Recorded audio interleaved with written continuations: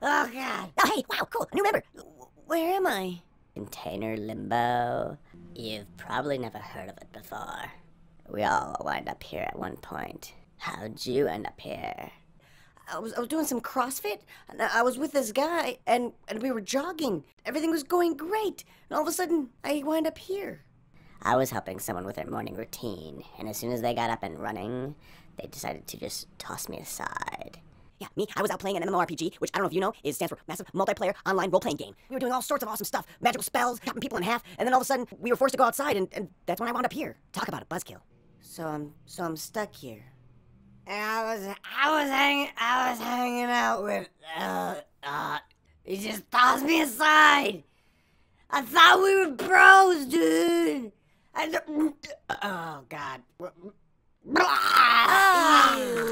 God damn it, Bear.